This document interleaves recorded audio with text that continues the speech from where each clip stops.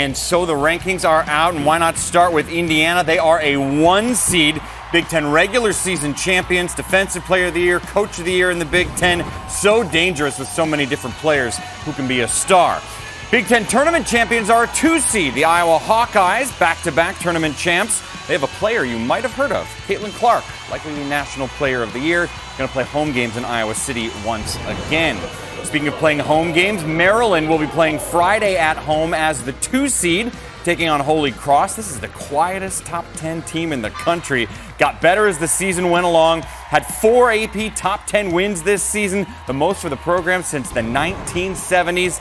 And the Ohio State Buckeyes are a three seed. They'll be playing Saturday at home. First time they're in back to back NCAA tournaments since 2017 2018. Remember, they started the year 19 0, got ranked as high as number two they have a press that is designed to destroy the soul of a tourney team with very little time to prepare for it. A few more notes here. The Fighting Illini made it. So did Purdue. That ends some tournament droughts for those two teams. However, they are both in the first four matchups. Also, the Michigan Wolverines came into the Big Ten tournament with a chance to be a top four seed and to host games. Instead, they will be a six seed and will take on UNLV in action starting on Friday.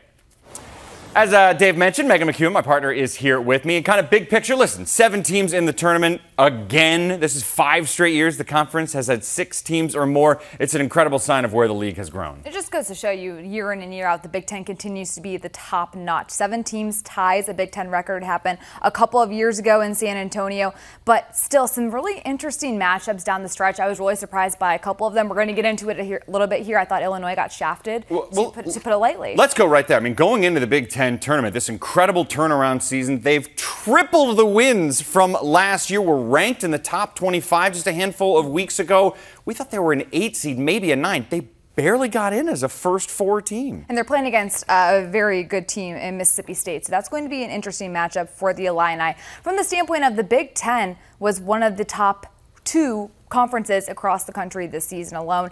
You saw multiple teams, six, seven, even eight teams at times in the big, in the AP top 25. So the depth that you saw in this league was out of the charts. But for a team like Illinois, who was ranked for the first time since the year 2000, to be an 11 in that play-in game, it's shocking considering the fact that they did win a game in the Big Ten tournament like they needed to in order to continue to prove that they did have a strong enough NCAA tournament resume. They beat Iowa early on in the season. Iowa ended up being a two seed. They ended up winning the Big Ten tournament. So to me, it just doesn't make any sense as to why they're in an 11 in a play-in game. Um, I'm not sure what happened there. I agree. It, it's very weird, but I will say the main point is they're in. They're in. That hasn't happened in 20 years in Champaign. So an incredible season for the first year with their new head coach is not done yet. They still got a chance to win some NCAA tournament games. You mentioned the Iowa Hawkeyes. They are the talk of the college basketball world because of Caitlin Clark, but as we all know, it is not just her, but she grabs all the headlines. The strong run in the NCAA tournament, the win in the final game of the regular season against Indiana, a lot of folks they thought they'd be a one seed as well. Very interesting too, because you heard some of the committee chairs talking uh, during the selection show, and they said that maybe UConn could have potentially been the one to flirt with the one seed, which again a little surprising. UConn was not as strong as they normally are in years past. They did win the Big East tournament, and then you see Stanford getting that final one seed. Stanford did lose in the Pac-12 tournament, which was very surprising. So to me, Iowa had itself set up perfectly to be that final one seed because of how they finished the season, knocking off Indiana, who was ranked second in the country at the time, and then turning around and winning the Big Ten tournament. So, in such dominating style, nonetheless. Very surprising that they're a two seed, but again, nonetheless, as long as everybody's in, Iowa's going to be hosting. Carver Hawkeye is going to be off the charts for that game. So it's going to be a really interesting tournament. You mentioned winning the Big Ten tournament. It wasn't a Big Ten tournament. It no. was the tournament of the best year the Big Ten has basically ever had in women's basketball. But again, they are a two seed. They will be hosting. We mentioned Indiana as a one seed. Will be hosting their first two games as well. Maryland will host, and I mentioned they're incredibly quiet. They've gotten so much better as the years gone on. How about Ohio State? The Buckeyes will be hosting, and in case you haven't followed, Jacy Sheldon is the heart and soul of that team. She's been injured the whole year just came back at the beginning of the Big Ten tournament. They're as close to being whole as they've been in a long time. That makes them really scary. Ohio State looked fantastic in the Big Ten tournament, making it all the way to that title game. They ended up losing to Iowa, but Jacy Sheldon is back. Cotie McMahon's perhaps playing her best basketball as the reigning Big Ten freshman of the year. And most importantly, this team presses at such a high level that teams aren't necessarily ready for it because they don't face pressing teams all year long. The Buckeyes could potentially make a deep run to the Sweet 16. I like their chances. All season long, there's been a unicorn in Iowa City, and Caitlin Clark has got her Hawkeyes to a two seed in the women's basketball tournament. They won the Big Ten tournament last week, and now they are sitting pretty with a chance to make the Final Four, which would be such a coup for this program. Here's Justine Ward chatting with the two faces of the Iowa program. Joined now by Lisa Bluder. And Lisa, you're a two seed. You're taking on Southeastern Louisiana. What's your reaction? Just excited to get going again. You know, we're excited to get into the office and start watching film and start preparing this team. But, um, you know, I don't know about much about Southeastern Louisiana University other than that they won the Southland Conference and they had four all-conference players. Um, and so, you know, they've, they've played a good non-conference schedule, including playing at LSU and at Alabama. And you've had a few days to kind of reflect on everything Caitlin Clark has done this season. She's coming off this epic performance in the Big Ten championship. How do you put that into perspective? You know, I just, I'm fortunate. I'm really grateful that I get to coach a player like Caitlin. Um, I think she's the most exciting player to watch in women's basketball. I think she's the face of women's basketball because of that, and there's nobody that impacts a game more than Caitlin Clark. Caitlin, you just found out you're two seed. You're taking on Southeastern Louisiana. What are your thoughts as you look at this bracket? I think just super excited. I think anytime you know you have the opportunity to sit there with your team and see your name pop up on Selection Sunday, you know it's something you always dream of as a kid. You know I grew up watching this with my family, so um, you know I'm super excited. I think you know we got a good draw, and you know you got to be ready for anybody. We certainly know that, but you know it's just really really fun experience for all of us. Obviously, an earlier exit than you wanted last year, Caitlin. But what did you learn from that? Yeah, I think to, to be prepared um, at all times. Um, I think it also shows, you know, no matter what seed number is by, you know, our name or whoever, what opponent you're playing, you know, they can do some damage. You can do damage, they can do damage, and I think that's why it makes this the best postseason tournament in all sport. You know, that there's excitement, there's upsets, you know, there's crazy runs that people didn't see coming, and you know that's why it's so fun. And that's why people love watching it. What's top of mind for you as you turn the page to the NCAA tournament? Yeah, I think, like you said, turning the page. You know, you can't get too hung up on being Big Ten champs. Yeah, we'll certainly celebrate that, enjoy that. We did, and we will after the season. But I think, you know, understanding if we want to reach our goals, you kind of have to let that go in the past. Our first matchup, we'll just focus on that and move forward after that. Well, you look at the last four tournaments for the Hawkeyes, and the one that sticks out, unfortunately, is last year when they were also a two seed but lost in the second round. That was a game against Creighton, who was a 10 seed. It was in Carver Hawkeye, and that's been on their mind ever since this past year. Being great, top 10 in the regular season was wonderful, winning the Big Ten tournament was wonderful, but they've always had this on their mind. Why do you think this year will be different for Iowa? For the third straight year, Iowa has the same exact starting five. This is a team that has a ton of experience, and that same starting five lost in the second round to Creighton last year. So they understand what it's like to be in tournament situations with one another. I've been so impressed with the way this Iowa team has finished the season. Beating Indiana to end the regular season, going into the Big Ten tournament as the two seed, making it all the way to the final day, and then winning in dominant fashion. Caitlin Clark had a triple double in that game, 30 points included within that triple double. It's a team that's playing like a well oiled machine. Iowa plays with such a quickened pace of play. They rank first in the nation in scoring offense, more than 86 points a game. It is so difficult to find a way to slow them down. The reason why Iowa has been so effective lately is because they have been balanced. Yes, Caitlin Clark can go off for 30 points and you can still beat Iowa but when you add in Monica Czinano and Kate Martin and Gabby Marshall and Hannah Stuelke getting buckets, then that's when Iowa becomes one of the hardest teams to stop because then you have to commit to guarding more than just one person. And that's when things get a little dicey for opponents. I mean, think about Gabby Marshall. Her last nine games, she's shooting 61% from deep. I mean, she's been totally incredible. And they've been incredible at home, too, by the way. 15 and 1 at Carver Hawkeye. They got two games waiting for them there. Now, real quick before yes. you change subjects, how many Carver cones are going to get sold during the NCAA tournament? That's what I want to know. Many, many, many. Some by you. Uh, meanwhile, we thought Michigan had a chance to be hosting. They are not. They are a six seed. The Wolverines will be taking on UNLV Friday in Baton Rouge. It's their fifth straight NCAA tournament, which is a record for the Wolverine program. Here's our head coach, Kim Barnes Arico. We're a really good basketball team. We're a team that was under the radar at the beginning of the year. No one expected that with Naz's graduation. Um, but then we went to some tournaments. We played on the road. We played at Miami. Um, and we challenged ourselves against some really, really good teams. And then, you know, we got banged up. We had a couple things at the end of the year where we we didn't finish exactly the way that we wanted, but we weren't 100% either. So this gives us an opportunity these last couple weeks to get back at it. And I think our our players are feeling excited about the opportunity to con- continue to play and in a different role, maybe, you know, be the upset team this year.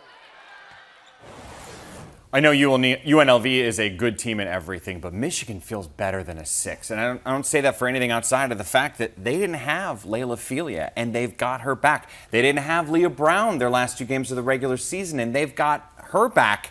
This is a better team than a six seed. I do think what hurt them in the seeding was that loss to Wisconsin the last game of the year, where they did not have Laila Phelia, nor did they have Leigha Brown. So that's something that I think hurt them regarding dropping to the sixth line.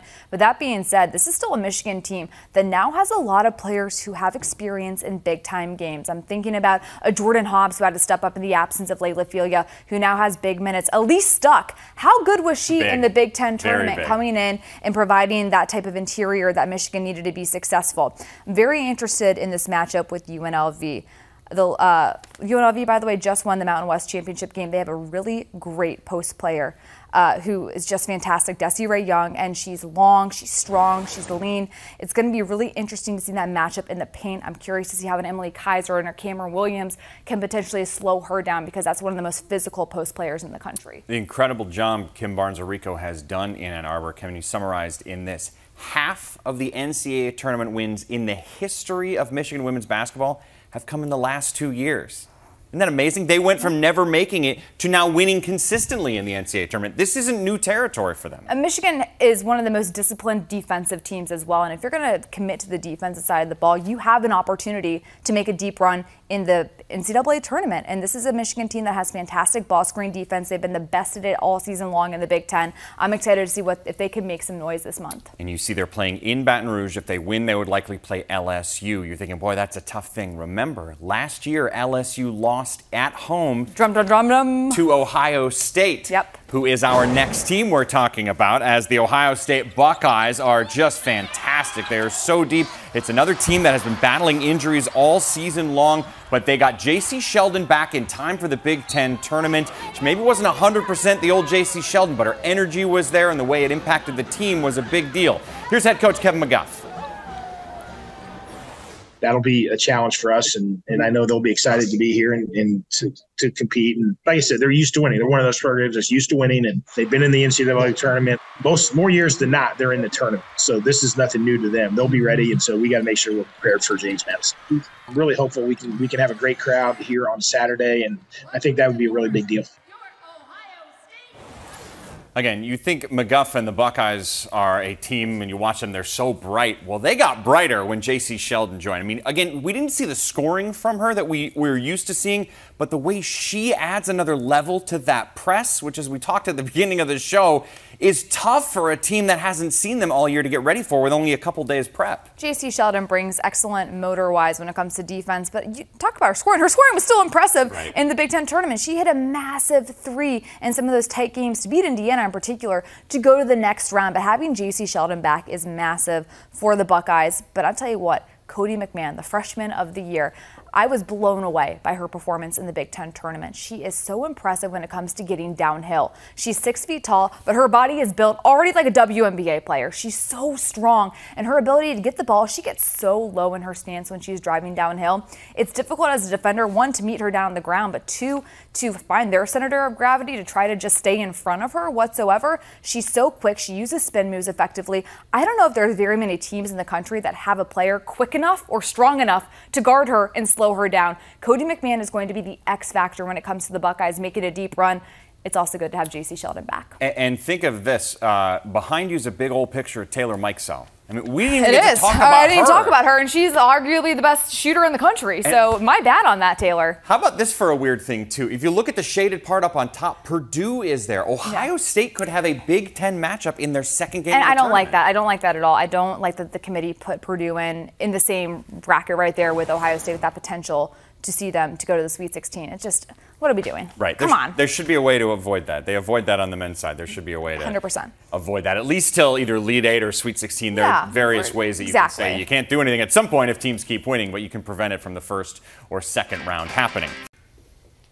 Mike and Megan back here talking about the Indiana Hoosiers and the amazing Teri Moren. They have the highest seed of any Big Ten squad. They are a one seed. Amazing, unthinkable a decade ago, and now what Moren has done is incredible. They will play the winner of Tennessee Tech and Monmouth, who have a first four game. Danny Rogers had a chance to catch up with Moren. Coach, your Hoosiers are a one seed, first time ever in program history. What have they done day in and day out to put themselves in this position? Well, they've played really good basketball. Um, you know, this is a group that is um, really tight. Their chemistry is off the charts. Uh, they're certainly talented. Uh, we have balance, we have depth. Um, but uh, what I love about them is that um, every day they come and do the work for us, and they're excited about the opportunity to compete. Uh, we're grateful for this, uh, you know, the, the chance that we have to, to be in the field. It's such a veteran team. They've been here before. They know what it looks like. How much can that carry a team into the tournament? Well, I, you know, you hit it on the head. The experience matters, uh, and uh, even though we have, you know, seven holdovers from a year ago and seven newcomers, like I mentioned, the chemistry has just been tremendous. But with that chemistry has come age and you know the the maturity uh, of an experienced group. And uh, you know, we've had a lot of players like the Mackenzie Holmes, like the Grace Bergers, that have played in big moments, and so uh, I feel like it's going to serve us well. Yeah, I mean, we knew, you know, it's kind of been a historic season for us on a lot of counts. Um, and we knew we were probably going to get, you know, the highest seed in program history. But I think to actually see your name, you know, up there um, with, with some of the best teams in the country, I mean, it's always a surreal feeling and just, you know, that much sweeter that, that we're the number one seed. I get why Indiana uh, doesn't get as much attention nationally as Iowa, but they should. They are incredible. They are so deep. They got the coach of the year, they got the defensive player of the year. And the math says if you're a one seed, your odds of making a final four are just way better than if you're a two. And when you saw that bracket come out, you said very quickly, I really like their draw. Indiana, to me, has been a Final Four team since January. They have proven it day in and day out that they are not only the best team in the Big Ten, but one of the best in the country because of how disciplined they are, especially on the defensive side of the ball.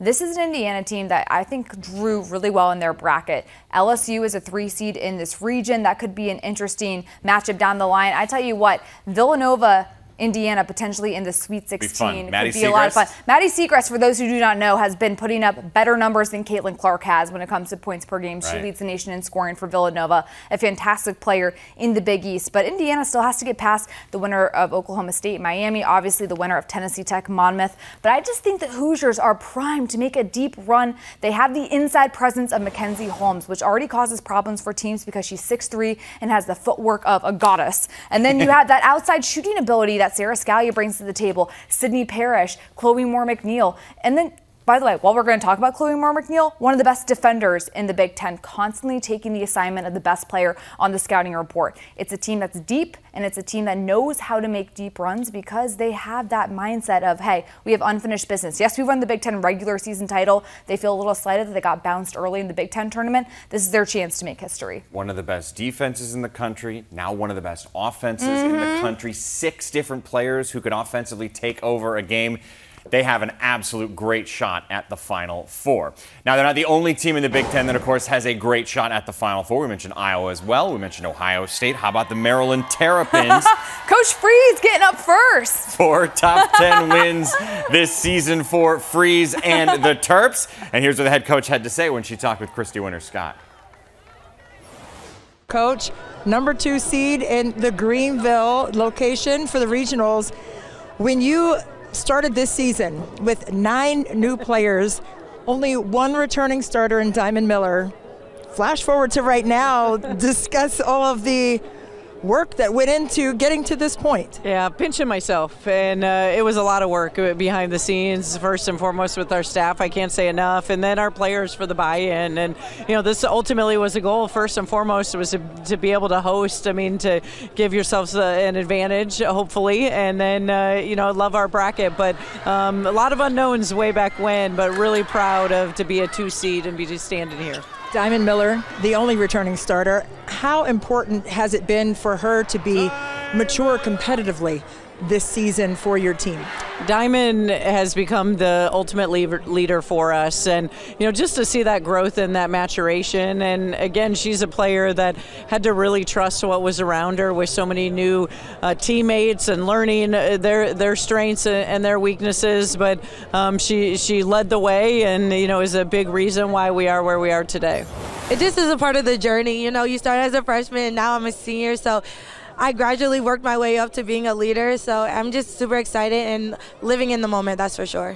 What kind of advice do you give the players who have not yet yeah. competed in the NCAA tournament? Be poised. There's going to be a lot of times where teams go on runs and you kind of feel that pressure, like, oh my gosh, my season is over. But just remember, there's a lot of time on the clock and you got this. Diamond Miller is a player who could explode in this NCAA tournament. Oh. And, I mean, she's already made a name for herself, but she could absolutely take over this tournament. And and Brenda would hate me looking ahead, but we're not coaching the team, so we're allowed to look we're allowed ahead. To do that, yeah. When you look at their bracket, you're thinking, okay, they're the two seed. Their one seed is South Carolina. That's obviously dangerous. They're the number one overall seed for a reason. They played each other this year without Diamond Miller. It was a big win for South Carolina, 25 points, but the best Terp wasn't even in that game. Which is unbelievable to think about at this point in time. I've been so impressed with the way that Maryland has come on as of late, and they've shown some depth as they've gone down the stretch. Here's what's been so impressive is the emergence of Lavender Briggs and Brinae Alexander, two transfers that came in. They've been in and out of the starting lineups. Coach Frese has had to take some time to really find the chemistry and the lineups that she wants, but now she's been able to, and as a result, this team has started to roll. I really like Maryland's draw, and I like the way their bracket is set up. I think they have a really good shot at getting to the Elite Eight, where they would potentially face South Carolina, the overall number one seed in this tournament, to go to a Final Four.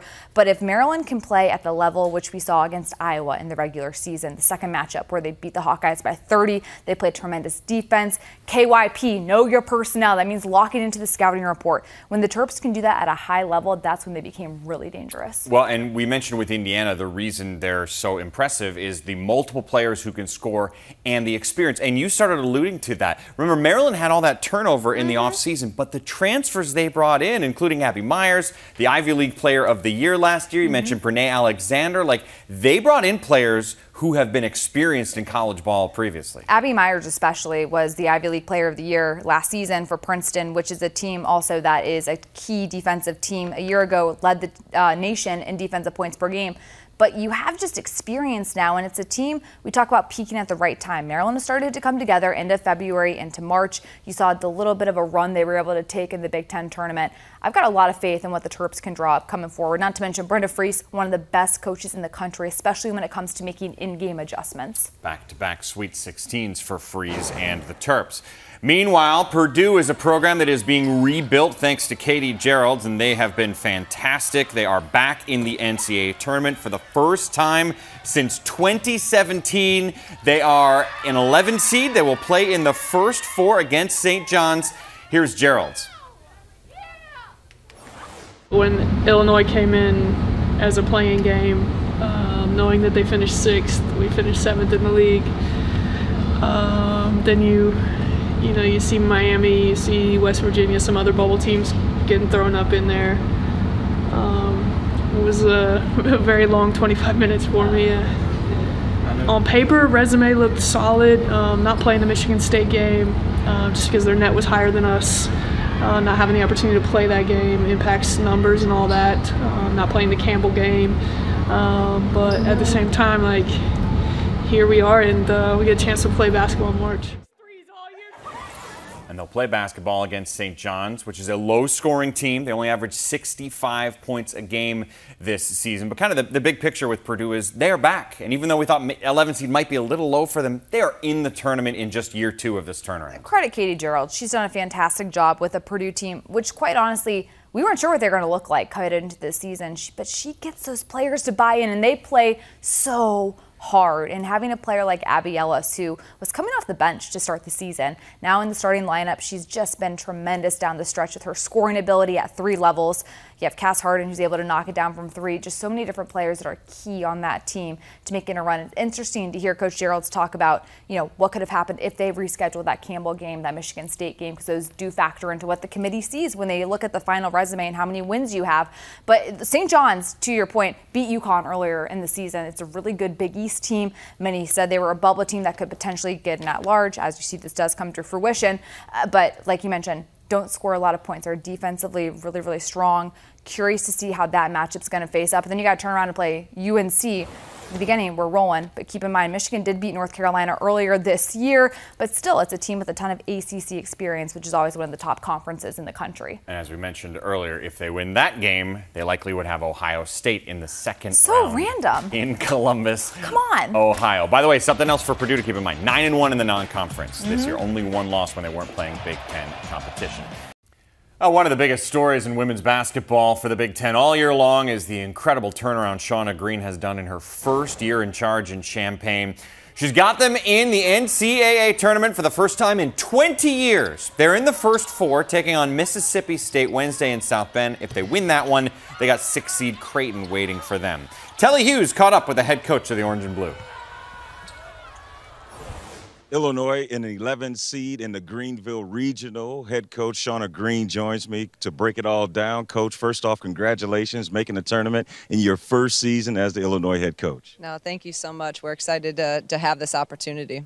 All right, you playing Mississippi State. What do you know about your opponent, and how quickly do you get on this scouting report? Yeah, I mean we're going. We'll head right over to the office after this and, and get to work. So, and, and with playing on Wednesday, obviously we got a we got a quick turnaround. So we'll probably be there all night tonight and, and working on that and, and getting that re- scouting report done. And you know Mississippi State, obviously they have a first year coach uh, there as well, and we played them last year when I was at Dayton. We played Mississippi State, so some of the same players are there, um, and I've watched them a few times. But obviously got to got to break down a lot more uh, in the next couple days. 22 wins. You have built a winning culture here so far in your first season.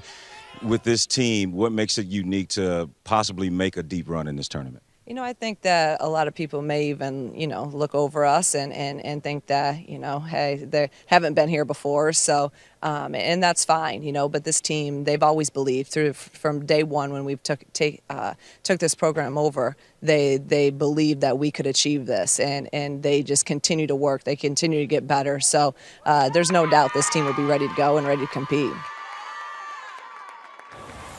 They surpassed last year's win total by the first week of December. They doubled last year's win total by the first week of January, and they enter the NCAA tournament having tripled last year's win total. And yet somehow they're in the first four, which we still can't quite fully understand. I feel like they got snubbed, especially when you look at how good the Big Ten was year, like from top to bottom. That huge win over Iowa in, in January by Illinois, I thought really helped boost their resume. They took Ohio State down to the wire. They were up 17 at one point at home That's against right. Ohio State. The Buckeyes did come back to win that game, but Illinois has proven day in and day out that they truly belong in this field of 68. But my question is, how do you have them in a play-in game when their resume was so airtight headed in to this tournament? But you know what? It is what it is. The committee made their decision, and here we are. But look, to turn around and play Creighton, I think, first off, this Mississippi State game is going to be interesting. It'll be a close game. But the Illini have so much firepower between their backcourt with Makira Cook, Adalia McKenzie, Genesis Bryant, that I do think it's a winnable game for them. Then you turn around and play Creighton, who's one of the best teams in the Big East. And again, I do think when those big three guards are on point, they're so difficult to defend because they're small and they're quick, and not a lot of guards in the conference match up well against them. We saw Michigan effectively guard Illinois earlier this year playing a zone because they used their length because they knew they didn't have that quickness advantage. Uh, but I'm just curious down the stretch how teams are going to choose to guard the Illini in this tournament. And even though it feels confounding to you and I that they're somehow an 11 seed. They're still in the NCAA. They tournament. are. They are. And they haven't done that since literally 20 years ago, 2003. Their turnaround has been one of the great stories for the Big Ten this year. The very top of the Big Ten is really what, where the spotlight shines the brightest. Four teams will be top four seeds, which means they will be hosting games in the NCAA tournament. That's the exact same amount they had last year. And they, by the way, teams that are hosting are really good. Like we didn't get a chance to mention this. Indiana was 16 and 0 at home this year well, fantastic crowds are going to be seen across the country, which is really exciting for the Big Ten. But I really think you have two or three teams in this tournament coming up that have a really good bracket that could potentially make a deep run in this tournament. Indiana, I think, has a really favorable side of the bracket, as does Maryland, as does Iowa. You're going to have some teams that are going to be able to pull together some deep runs. And hey, who knows what you're going to see from a team like Illinois or Purdue in a play-in game. You never know. You can't count anybody out in March right. because there's just a little bit of magic that happens over the course of the next couple of weeks. I still think that Ohio State press is going to be jarring. I don't want to play against it. I still think Michigan is not a 6 mm-hmm. That's going to be a tough matchup for whoever they have as well. The Final Four comes your way March 31st in Dallas. Big Ten teams are fighting for that. Not all of them, however. The Nebraska women's team just missed out on making the NCAA tournament. They will be in postseason basketball playing in the WNIT.